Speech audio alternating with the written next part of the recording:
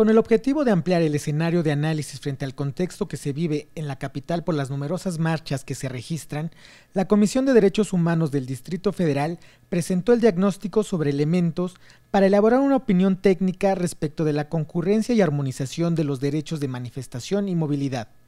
Perla Gómez Gallardo, presidenta de la institución, dijo que uno de los retos será la búsqueda de conciliación de derechos. La Comisión de Derechos Humanos del Distrito Federal está en contra de cualquier acto de autoridad que criminalice la protesta social. Ese sí es un dato y una afirmación que estaremos constantemente realizando.